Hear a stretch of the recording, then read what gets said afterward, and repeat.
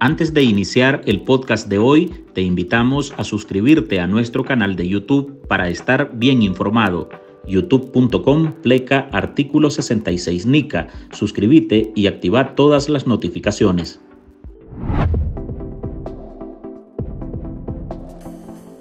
Las violaciones a los derechos laborales y las represalias contra los trabajadores del Estado de Nicaragua, vigilados por el régimen, no cesan. Reforma la ley número 260, ley orgánica del Poder Judicial de la República de Nicaragua. La más reciente información que ha movido todos los cimientos de quienes laboran para el gobierno de Daniel Ortega y Rosario Murillo se basa en una nueva reforma a la Constitución Política de Nicaragua, la reforma a la Ley Orgánica del Poder Judicial y la Ley 1173, Ley para el cálculo de la indemnización por antigüedad en caso de renuncia de los trabajadores del Estado. Ambas llegaron al plenario con trámite de urgencia. 91 votos a favor, 0 en contra, 0 abstenciones, 0 presente. Se apruebe en lo general la iniciativa presentada. Con esas normativas se propina una estocada contra los trabajadores estatales, a quienes prácticamente se les confiscará su indemnización si se atreven a irse de sus puestos en cualquier dependencia de los poderes del Estado. La nueva normativa indica que los empleados del Estado que se vayan por voluntad propia tendrán derecho a su antigüedad a partir de los tres años de servicio continuo y no desde el primer año como establece el Código del Trabajo.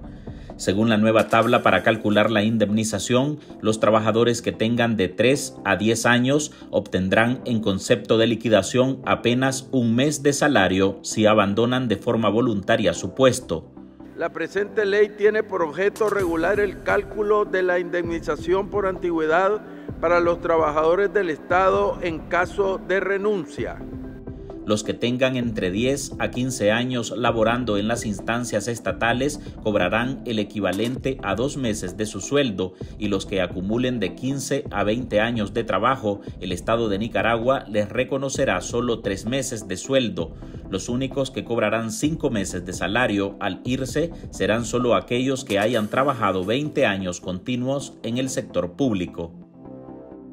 El cálculo de las indemnizaciones por antigüedad en caso de renuncia se aplicará a todos los trabajadores del sector público, sean estos del Poder Legislativo, Poder Ejecutivo, Poder Judicial, Poder Electoral, entes autónomos y gubernamentales, municipios y órganos de las regiones autónomas de la costa caribe.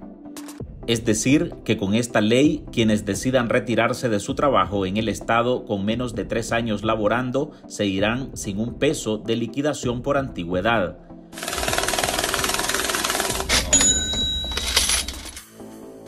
Antes de esta nueva estocada, el pago por antigüedad para cualquier trabajador, incluyendo a los del Estado, estaba regulada por el artículo 45 del Código del Trabajo que establece que se paga un mes de salario por cada uno de los primeros tres años de labores y empieza a sumar 20 días de salario por cada año de trabajo a partir del cuarto hasta completar cinco salarios al llegar a los seis años laborados.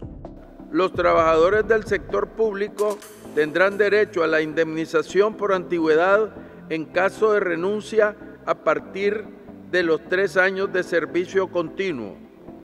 La reforma llega en medio de una avalancha de renuncias de los trabajadores del Estado que han llegado al hartazgo por la represión que viven en sus puestos laborales, la vigilancia policial y otros que se cansaron de que los usen como cómplices para la continua violación de derechos humanos en Nicaragua. La medida fue aprobada por el Pleno de Diputados en la Asamblea Nacional, que a ciega votan por cualquier iniciativa bajada por los Ortega Murillo. Se cierra la votación, 91 votos a favor, 0 en contra, 0 abstenciones, 0 presentes. Se aprueba en lo general la iniciativa presentada. Eso sí, la medida protege a los ungidos por la pareja dictatorial y golpea a los de menor rango, los ministros, embajadores, asesores presidenciales, funcionarios y delegados que sean designados expresamente por Ortega, que de por sí tienen altos salarios y privilegios, no serán afectados por la reforma. Hola, soy Álvaro Navarro y hoy en el podcast Ahora de Artículo 66 le presentamos Trabajadores del Estado asaltados por Daniel Ortega con reducción de su indemnización. Marlin Balmaceda recopiló las impresiones de abogados sobre este golpe propinado por el Ejecutivo contra los servidores públicos y nos tiene las repercusiones que estos cambios traerán en las víctimas que están en los poderes del Estado, controlados por el matrimonio presidencial.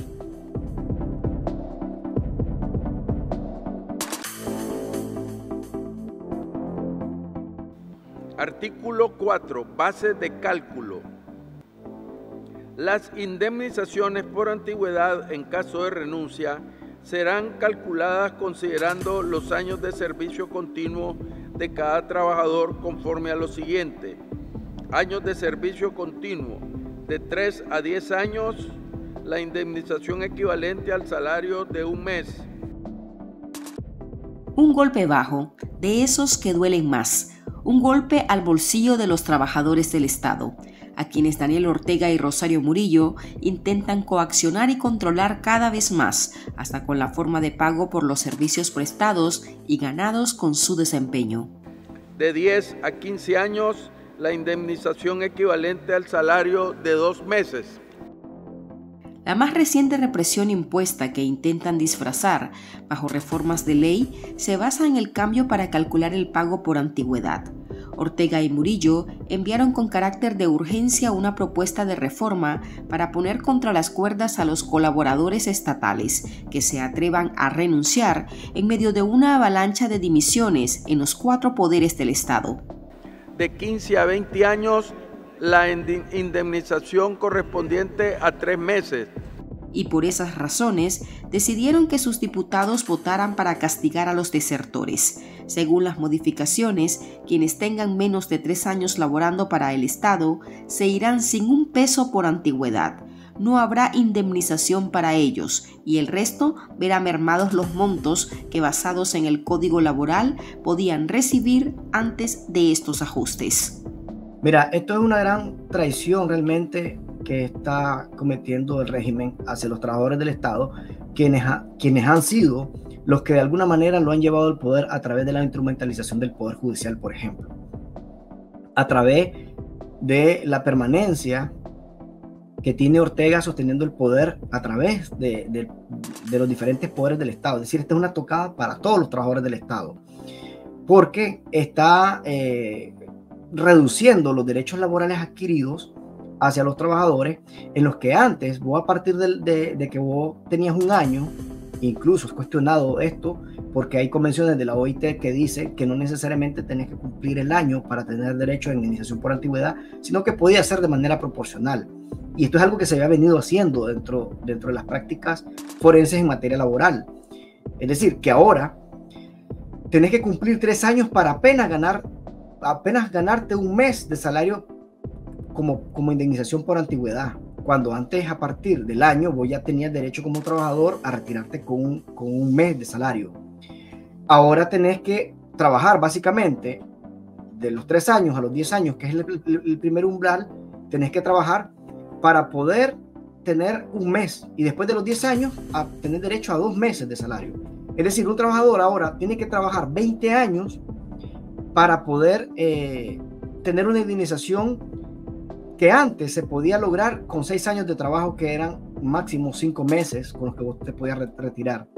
Yo aquí lo que veo es que, al igual como hicieron con la policía, donde se castiga la deserción como una forma de tenerlos cooptados o tenerlos secuestrados, están creando codependencias hacia el Poder Ejecutivo o hacia el Estado para que el trabajador la piense dos veces antes de irse a la calle. Porque vos sabés, tener una indemnización mermada, mm, que ya no te enfrente, poder dar ese paso de salirte del Estado, obviamente eh, te pone en una situación en la que el dictador es el que tiene el control básicamente de tu vida.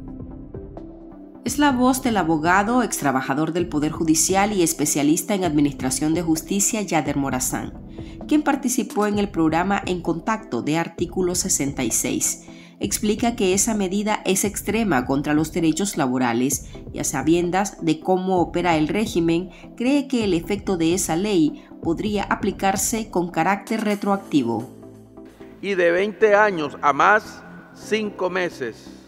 Hasta aquí el artículo 4. Con esa reforma, la guillotina se la podrían pasar a todos los que han callado sobre los fraudes electorales, los procesos espurios para condenar a opositores y arrebatar la nacionalidad a más de 317 nicaragüenses. El abogado nicaragüense Juan Diego Barberena lo tiene claro. El ajuste con la indemnización a los servidores públicos es un robo a mano armada. El otro zarpazo de la dictadura de Ortega Murillo es a los servidores públicos, a los trabajadores públicos eliminando la base de cálculo para la indemnización por antigüedad en caso de renuncias, robándole a los trabajadores públicos su derecho adquirido a tener un mes de salario por cada año trabajado en los primeros tres años como indemnización por antigüedad. Ahora la dictadura establece el derecho a la indemnización por antigüedad en caso de renuncia a partir del tercer año, un mes de salario entre el tercer y décimo año trabajado. La dictadura les está robando a los servidores públicos. Hacemos un llamado nuevamente a los servidores públicos de buena fe a que sean parte del cambio político y democrático que el país necesita. La dictadura ahora los ataca, la dictadura los persigue, la dictadura les roba. La dictadura ordenó además reformar el artículo 159 de la Constitución Política de Nicaragua, con el que se controlará la partida presupuestaria que recibirá el Poder Judicial. Sin embargo, hicieron andar una reforma ordinaria a la Ley 260, que es la Ley Orgánica del Poder Judicial, en la que básicamente eliminan el presupuesto constitucional que tenía el Poder Judicial eh, dejándole eh, al árbitro, al, Poder Ejecutivo, eh, las migajas que éste podría eh, darle. Es decir, ya no es constitucional el 4% que gozaba el Poder Judicial, sino que ahora va a ser el Poder Ejecutivo, a través de un decreto ley que es sometido siempre a la Asamblea Nacional, para que se le dé las asignaciones a la cuota presupuestaria para que opere ese poder del Estado. Esto no podemos minimizarlo al hecho de que, ok, gozaban de, gran cantidad de plata al punto de que todos los años cambiaban las flotas vehiculares. Digamos, esta es la parte inicial que, puede tener e, este efecto esta ley. Sino que aquí estamos realmente convirtiendo al Poder Judicial, a pesar de que eso ya, ya existía, de hecho, que no es igual eh, hacer actos ilegales que legalizar actos que ya son arbitrarios, aquí lo que están creando es una dependencia del Poder Judicial directamente económica hacia el Poder Ejecutivo.